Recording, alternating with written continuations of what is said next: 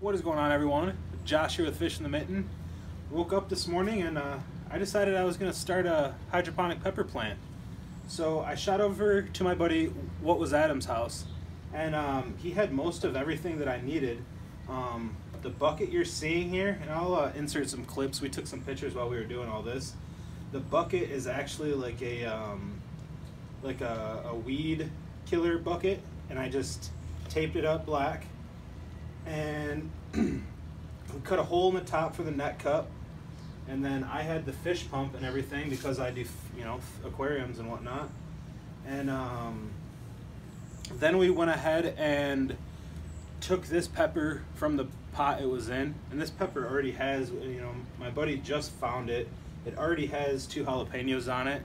So it was pretty root bound in that cup. We took it out. We washed off the roots as well as we could.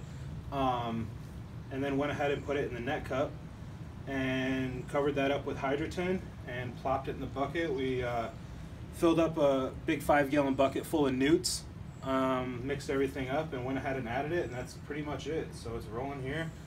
Give you guys a close up look. All right, so here's the plant. As you can see, a couple little jalapenos on there. There's our roots. You can see there's some dirt still in there, but we got out as much as we could. You know, it'll slowly fall out.